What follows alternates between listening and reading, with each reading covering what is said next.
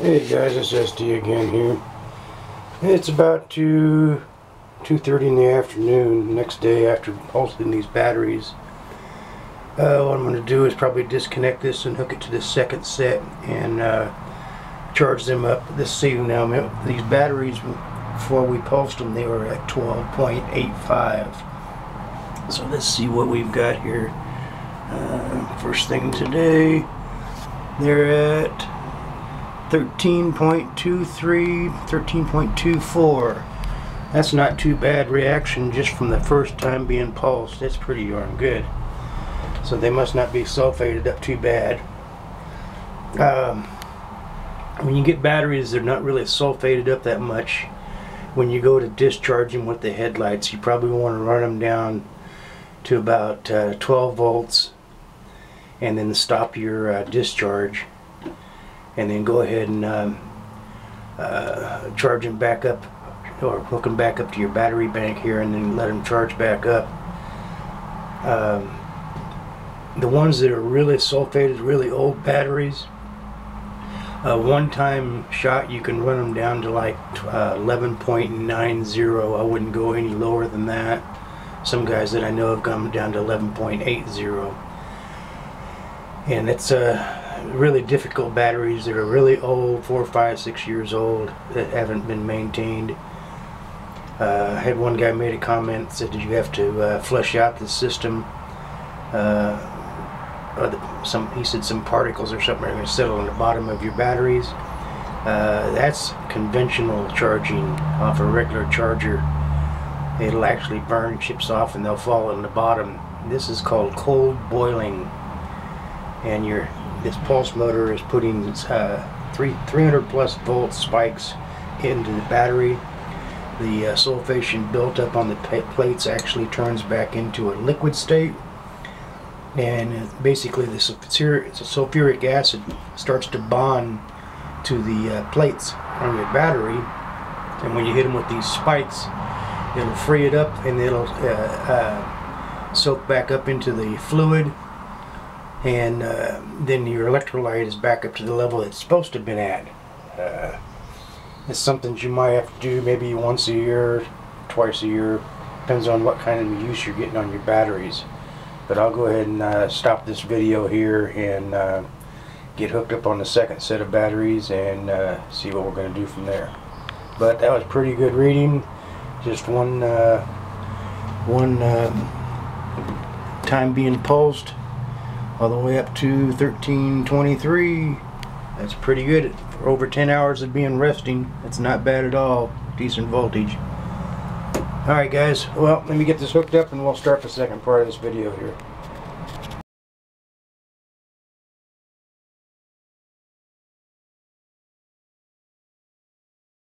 Okay guys, this is SD back again.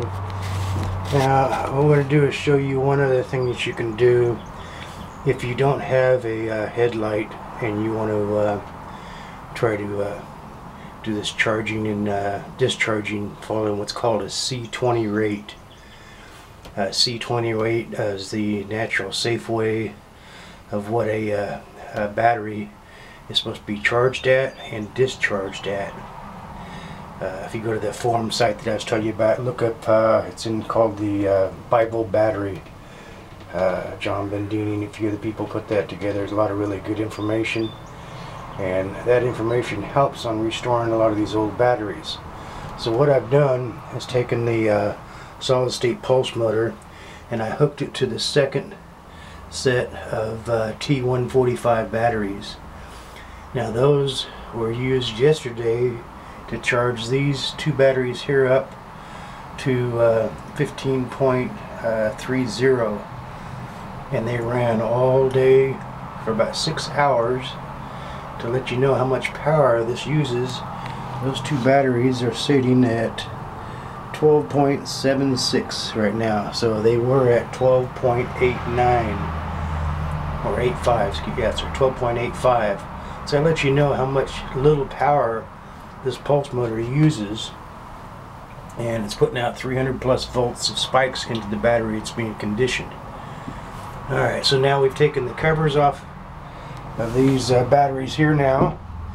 And we're gonna go ahead and put the little napkins over them because when they start uh, bubbling you get a lot of the uh, mist all over the uh, battery areas caps and stuff like that and batteries have been known to do what they call belching and they'll actually spew up a little bit of the uh, liquid inside there so you never want to stand right over and look right down into them you want to have some sort of a face shield on if you can get that and get one cheap like at Harbor Freight or something like that.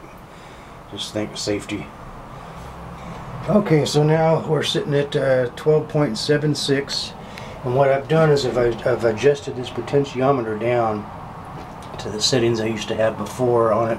Just you know I have an amp meter in line but we want to discharge these two batteries at about uh, 10 amp uh, draw and putting 10 amps back into these two batteries but it won't really show up as amperage it's going to be showing up as spikes of 300 plus volts. So let's go ahead and turn this back on you can watch the meter. You'll also notice this uh, coil set. You'll hear a slight hum. Okay just kind of listen for it when I turn it on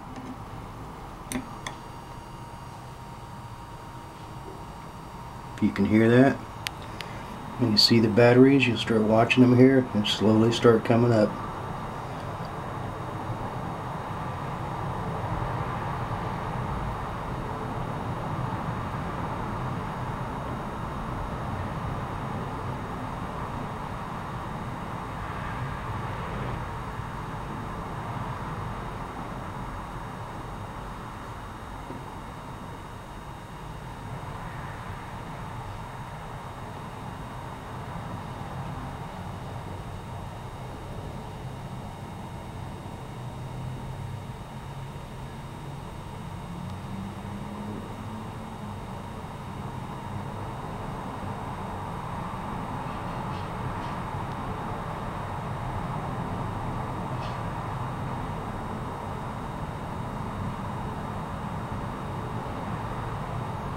Okay, so now what I'll do is just mess around the backyard. I've got uh, a coil jig I got to throw together to make a, a stator set for uh, Daryl over at Belgrade uh, Machine. His buddy of mine online made a really nice uh, wind generator and he sent it to me so I'm going to make a stator for him and hopefully get it sent out this payday. I'm really short on cash so I'm doing what I can with what little bit I got around here.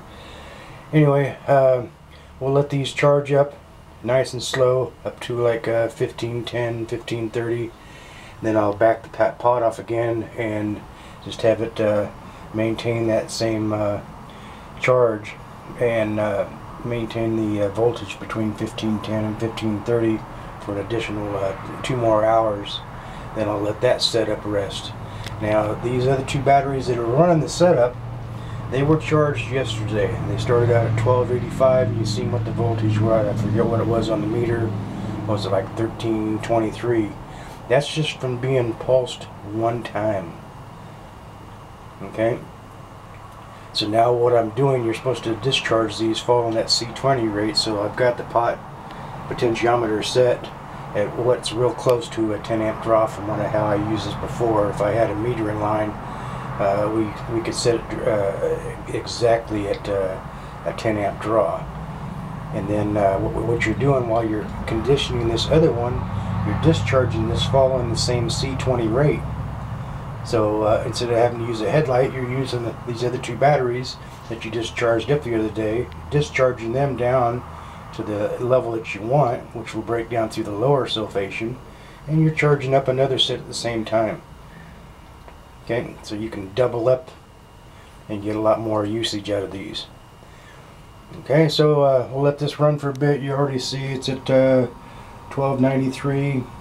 And I could turn this potentiometer up and this thing would just peak up and make it charge really fast. But you don't want it to do that. You want a nice, slow, steady charge. See like it's coming up, probably hit to 1295 here in just a bit. There it goes, just starting. These Trojan batteries and other batteries that I know of, they like a nice slow pulse.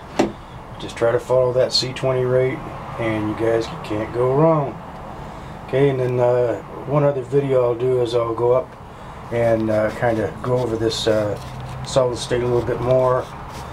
Uh, a few things for you guys if you want to uh, get some of the parts for this, like the uh, transistors are a I think it's a 3055 transistor. You can get them on eBay really cheap. Uh, Radio Shack, they're a couple bucks, like two or three bucks a piece. Uh, the diodes, you want to use at least, these are the diodes right here, the little black things. You can use a 1N uh, 004, but I like to use the heavier. These are uh, 5408 diodes, and you can get those through eBay also. Uh, on the side here has a 33 ohm half watt resistor. You can get those at Radio Shack all the time. Uh, you can get uh, 100 ohm resistors. You don't have to use these great big ones, but I like to use them. And they're real stout. Um, this is a uh, uh, I forget what it was, 10 watt. You'd have to look at the uh, thing. I don't have my glasses on. A 100, 100 ohm resistor. Some of those you can get at Radio Shack. Uh, a lot of times eBay. Uh, this potentiometer you can get on eBay. The ones that sell at uh, Radio Shack, um, they're okay. These are the ones that I've been getting uh, last a lot longer. And then just miscellaneous little connections, and you have to have a solder gun. Uh, all the wire underneath, I, I like to use uh, like number 10 wire that comes from each of these uh, setups right here. Comes off. This is uh, your whole body of your uh, transistor is called the collector. And then you have a base and an emitter. Okay, and I like to use the uh, same lengths of wire coming from each one, and then just hook them up so they'll all reach. And that keeps your uh, resistance equal throughout each transistor. So we'll go over little uh, tips later on on how to build one of these things and some do's and don'ts. But for right now, uh, we're up and charging the next bank. And it's already up to 13.50. Not too bad. Alright guys, we'll catch you later.